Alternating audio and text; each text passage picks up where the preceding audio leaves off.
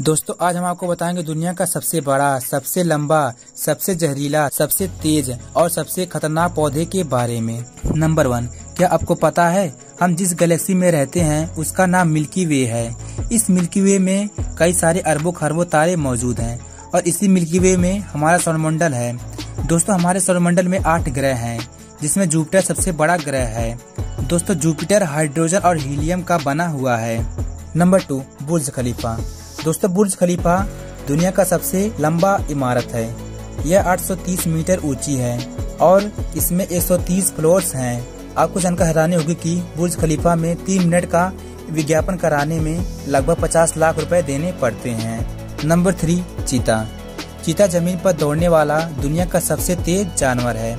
यह 120 किलोमीटर प्रति घंटे की स्पीड से दौड़ सकता है। इनकी स्पीड काफ़ी देर तक नहीं रहती है। ये एक बार में 60 सेकेंड तक ही दौड़ सकती हैं। इनके तेज दौड़ने के पीछे का कारण होता है इनकी पतली बॉडी, जिसकी वजह से इनकी ज़्यादातर एनर्जी भागने में जाती है। नंबर चार, डॉल्स आइस। यह देखिए इस पौधे को। यह दिखने में बहुत ही खूबसूरत लगता है, लेकिन इसके बारे में जानकर आप हैरान रह जाएँगे। यह फल दिखने में किसी गुड़िया की आँख जैसा लगता है। इसलिए इसे डॉल्स आइस के नाम से जाना जाता है। यह अमेरिका, कनाडा और यूनाइटेड स्टेट में देखने को मिल जाएँगे। यह फल बहुत ही जहरीला होता है। आपको जानकर हैरानी होगी कि इसका केवल फल ही नहीं, बल्कि पूरा पौधा ही जहरीला होता है। और इनके संपर्क में आने से व्यक्ति को सूजन और त्वचा के छाले हो सकते हैं। नंबर पाँच किंग कोबरा।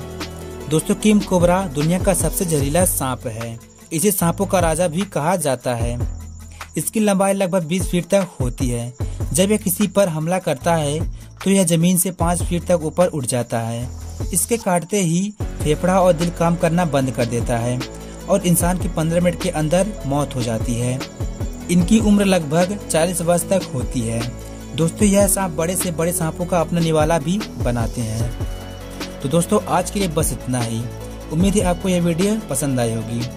वीडियो पसंद आई हो तो वीडियो को लाइक या हमारे चैनल को सब्सक्राइब ज़रूर करें। और आपको इसमें सबसे अमेजिंग फैक्ट कौन सा लगा, ये हमें कमेंट सेक्शन में ज़रूर बताएँ।